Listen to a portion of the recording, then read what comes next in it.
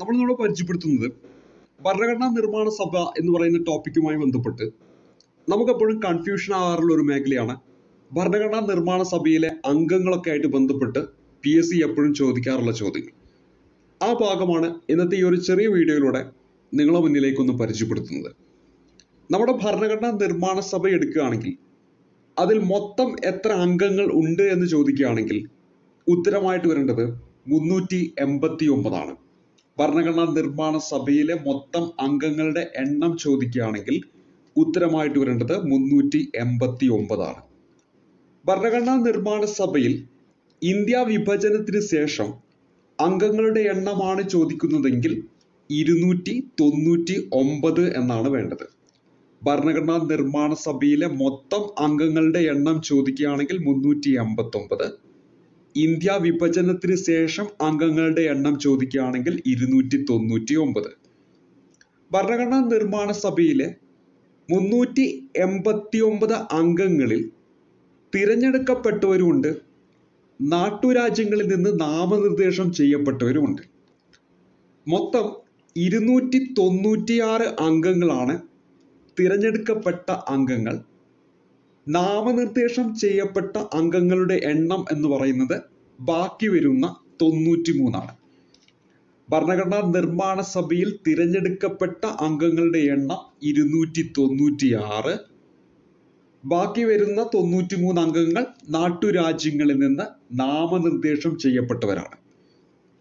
തിരഞ്ഞെടുക്കപ്പെട്ട ഇരുന്നൂറ്റി തൊണ്ണൂറ്റിയാറ് അംഗങ്ങളെയും രണ്ടായിട്ട് നമുക്ക് ഡിവൈഡ് ചെയ്യാം. ഗവർണർമാരുടെ പ്രവിശ്യയിൽ നിന്ന് തിരഞ്ഞെടുക്കപ്പെട്ട അംഗങ്ങളെന്നും ചീഫ് കമ്മീഷണർമാരുടെ പ്രവിശ്യയിൽ നിന്ന് തിരഞ്ഞെടുക്കപ്പെട്ട അംഗങ്ങളെന്നും രണ്ടായിട്ട് തരംതിരിക്കാം.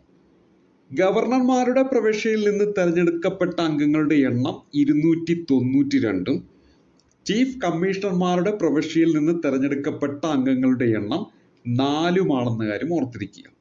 നമ്മൾ പരിചയപ്പെട്ടത് ഭരണഘടനാ നിർമ്മാണ സഭയിൽ എത്ര അംഗങ്ങൾ ഉണ്ട് എന്ന് ചോദിച്ചാൽ മുന്നൂറ്റി എൺപത്തി ഒമ്പത് ഇന്ത്യ വിഭജനത്തിന് ശേഷം ഭരണഘടനാ നിർമ്മാണ സഭയിൽ എത്ര അംഗങ്ങൾ ഉണ്ടായിരുന്നു എന്ന് ചോദിച്ചാൽ ഇരുന്നൂറ്റി തൊണ്ണൂറ്റി ഒമ്പത് ഭരണഘടനാ നിർമ്മാണ സഭയിലേക്ക് തെരഞ്ഞെടുക്കപ്പെട്ട അംഗങ്ങളുടെ എണ്ണം ചോദിച്ചാൽ ഇരുന്നൂറ്റി തൊണ്ണൂറ്റി ആറ് ഭരണഘടനാ നിർമ്മാണ സഭയിലേക്ക് നാട്ടുരാജ്യങ്ങളിൽ നിന്നും നാമനിർദ്ദേശം ചെയ്യപ്പെട്ടവരുടെ എണ്ണം ചോദിച്ചാൽ തൊണ്ണൂറ്റി മൂന്ന് ഭരണഘടനാ നിർമ്മാണ സഭയിലേക്ക് ഗവർണർമാരുടെ പ്രവിശ്യയിൽ നിന്ന് തിരഞ്ഞെടുക്കപ്പെട്ട അംഗങ്ങളുടെ എണ്ണം ചോദിച്ചാൽ ഇരുന്നൂറ്റി തൊണ്ണൂറ്റി രണ്ട്. ഭരണഘടനാ നിർമ്മാണ സഭയിലേക്ക് ചീഫ് കമ്മീഷണർമാരുടെ പ്രവിശ്യയിൽ നിന്നും തിരഞ്ഞെടുക്കപ്പെട്ട അംഗങ്ങളുടെ എണ്ണം ചോദിച്ചാൽ നാലെന്നാണ് ഉത്തരമായിട്ട് വരേണ്ടത്. അടുത്തതായിട്ട് അറിഞ്ഞിരിക്കേണ്ടത് നമ്മൾ പരിചയപ്പെട്ട് കഴിഞ്ഞു ഭരണഘടനാ നിർമ്മാണ സഭയിലേക്ക് ഇരുന്നൂറ്റി തൊണ്ണൂറ്റിയാറ് അംഗങ്ങളെ തെരഞ്ഞെടുത്തതാണെന്ന് പരിചയപ്പെട്ടു. ഈ ഇരുന്നൂറ്റി തൊണ്ണൂറ്റി ആറ് അംഗങ്ങൾ തെരഞ്ഞെടുക്കപ്പെട്ടപ്പോൾ അതിൽ ഇരുന്നൂറ്റി എട്ട് പേർ ഇന്ത്യൻ നാഷണൽ കോൺഗ്രസിൽ നിന്ന് തെരഞ്ഞെടുത്തതും എഴുപത്തി മൂന്ന് പേർ മുസ്ലിം ലീഗിൽ നിന്ന് തെരഞ്ഞെടുത്തതും പതിനഞ്ച് പേർ സ്വാതന്ത്ര്യരായിട്ട് മത്സരിച്ചിട്ട് തെരഞ്ഞെടുക്കപ്പെട്ടവരുമാണെന്ന കാര്യം ഓർത്തിരിക്കുക. ഇപ്പം എത്ര പേരാണ് ഇന്ത്യൻ നാഷണൽ കോൺഗ്രസിൽ നിന്ന് വന്നതെന്ന് വെച്ചിട്ടുണ്ടെങ്കിൽ ഇരുന്നൂറ്റി എട്ട് മുസ്ലിം ലീഗിൽ നിന്ന് വന്നിട്ടുള്ള അംഗങ്ങളുടെ എണ്ണം ചോദിക്കുകയാണെങ്കിൽ എഴുപത്തി മൂന്ന് സ്വാതന്ത്ര്യരായിട്ട് മത്സരിച്ച് വന്നിട്ടുള്ളവർ എത്രയാണെന്ന് വെച്ചിട്ടുണ്ടെങ്കിൽ പതിനഞ്ചാണെന്ന് കാര്യം ഓർക്കുക. ഭരണഘടനാ നിർമ്മാണ സഭയിലെ വനിതകളുടെ എണ്ണം ചോദിക്കുകയാണെങ്കിൽ തുടക്കത്തിൽ പതിനേഴാണ്. എന്നാൽ വിഭജന ശേഷം വനിതകളുടെ എണ്ണം എന്ന് പറയുന്നത് പതിനഞ്ചാണ്.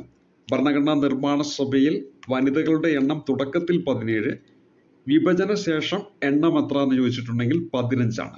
ഇപ്പൊ ഇലക്ട് ചെയ്ത അംഗങ്ങൾ ഇരുന്നൂറ്റി തൊണ്ണൂറ്റിയാറ് അതിൽ ഇന്ത്യൻ നാഷണൽ കോൺഗ്രസിന് ലഭിച്ച അംഗങ്ങളുടെ എണ്ണം ഇരുന്നൂറ്റി എട്ട് മുസ്ലിം ലീഗുമായി ബന്ധപ്പെട്ട് എഴുപത്തി മൂന്ന് സ്വാതന്ത്ര്യർ പതിനഞ്ച് എന്നീ കാര്യങ്ങൾ ഓർത്തിരിക്കുക. വനിതകൾ ഭരണഘടനാ നിർമ്മാണ സഭയിലെ വനിതകളുടെ എണ്ണം ചോദിക്കുകയാണെങ്കിൽ പതിനേഴാണ്. വിഭജന ശേഷം എത്ര എന്ന് വെച്ചിട്ടുണ്ടെങ്കിൽ പതിനഞ്ചാണെന്ന് ഈ കാര്യങ്ങൾ ഓർത്തിരിക്കുക. അടുത്ത അറിഞ്ഞിരിക്കേണ്ടത് ഭരണഘടനാ നിർമ്മാണ സഭയിലെ മലയാളികൾ പതിനേഴ് മലയാളികളായിരുന്നു ഭരണഘടനാ നിർമ്മാണ സഭയിൽ ഉണ്ടായിരുന്നത്. അതിൽ മദ്രാസ് അല്ലെങ്കിൽ ഇന്നത്തെ മലബാർ ആ ഒരു മേഖലയൊക്കെ ആയിട്ട് ബന്ധപ്പെട്ട് ഒൻപത് പേരാണ് ഉണ്ടായിരുന്നത്. കൊച്ചിയിൽ നിന്ന് ഒരു വ്യക്തിയാണ് ആ പേര് അറിഞ്ഞിരിക്കണം പനമ്പള്ളി ഗോവിന്ദ മേനോൻ തിരുവിതാംകൂറിൽ നിന്ന് ആറ് ആൾക്കാർ മലയാളികളായിട്ട് ഭരണഘടനാ നിർമ്മാണ സഭയിൽ ഉണ്ടായിരുന്നു. നമ്മളിവിടെ കൂട്ടി നോക്കുമ്പോൾ ഒമ്പത് ഒന്നും പത്ത് പത്തിനോട് ആറ് കൂട്ടിയാൽ പതിനാറ് എന്നാണ് വരിക. നമ്മൾ പഠിച്ചു കഴിഞ്ഞു പതിനേഴ് മലയാളികൾ ഭരണഘടനാ നിർമ്മാണ സഭയിൽ ഉണ്ടായിരുന്നു. ആ ഒരു വ്യക്തി എന്ന് പറയുന്നത് യു പിയിൽ നിന്നാണ് ആ ഒരു വ്യക്തി ഭരണഘടനാ നിർമ്മാണ സഭയിലേക്ക് വരുന്നത്. അത് ജോൺ മത്തായി ആണെന്ന കാര്യം ഓർത്തിരിക്കുക. അപ്പൊ യു പിയിൽ നിന്ന് ഒരു വ്യക്തി വരുന്നു. ജോൺ മത്തായാണ് അദ്ദേഹത്തിന്റെ പേരും ഓർത്തിരിക്കണം. അപ്പൊ മൊത്തം എത്ര മലയാളികളാണ് ഭരണഘടനാ നിർമ്മാണ സഭയിലുള്ളത്? പതിനേഴ് അംഗങ്ങൾ. അതിൽ മദ്രാസിൽ നിന്ന് ഒൻപത് പേര്. കൊച്ചിയിൽ നിന്ന് ഒരാൾ. അദ്ദേഹത്തിന്റെ പേര് പനമ്പള്ളി ഗോവിന്ദമേനോൻ. തിരുവിതാംകൂറിൽ നിന്ന് ആറ് പേരാണുള്ളത്. അതുപോലെ തന്നെ യു പിയിൽ നിന്ന് ഒരാൾ വരുന്നുണ്ട്. അത് ജോൺ മത്തായി ആണെന്ന കാര്യം ഓർക്കുക. ഭരണഘടനാ നിർമ്മാണ സഭയിലെ വനിതകളുടെ എണ്ണം നമ്മൾ പതിനേഴ് എന്ന് പഠിച്ചു. വിഭജനത്തിന് ശേഷം വനിതകളുടെ എണ്ണം പതിനഞ്ചെന്നും പഠിച്ചു. ഭരണഘടനാ നിർമ്മാണ സഭയിലെ വനിതകളിൽ എത്ര മലയാളികളുണ്ടെന്ന് ചോദിച്ചാൽ മൂന്ന് എന്നാണ് ഉത്തരമായിട്ട് വരേണ്ടത് ആ മൂന്ന് വ്യക്തികളുടെയും പേര് ഓർക്കണം. മദ്രാസിൽ നിന്ന് രണ്ടു പേർ. അമ്മു സ്വാമിനാഥനും ദാക്ഷായണി വേലായുധനും. തിരുവിതാംകൂറിൽ നിന്ന് ആനി മസ്ക്രീൻ. തിരുവിതാംകൂറിൽ നിന്ന് ഭരണഘടനാ നിർമ്മാണ സഭയിലേക്ക് പോകുന്നത് ആനി മസ്ക്രീനാണ്. മദ്രാസിൽ നിന്ന് രണ്ടു പേർ അമ്മു സ്വാമിനാഥനും ദാക്ഷായണി വേലായുധനും.